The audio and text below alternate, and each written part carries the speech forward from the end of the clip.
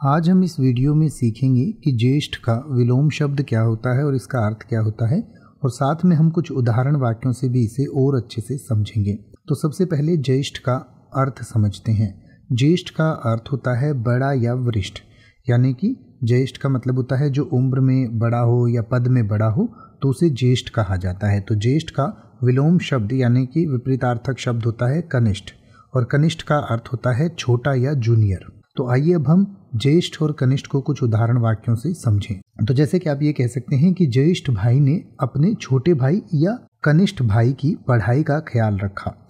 या फिर आप कह सकते हैं कि वह अपने परिवार में ज्येष्ठ सदस्य है।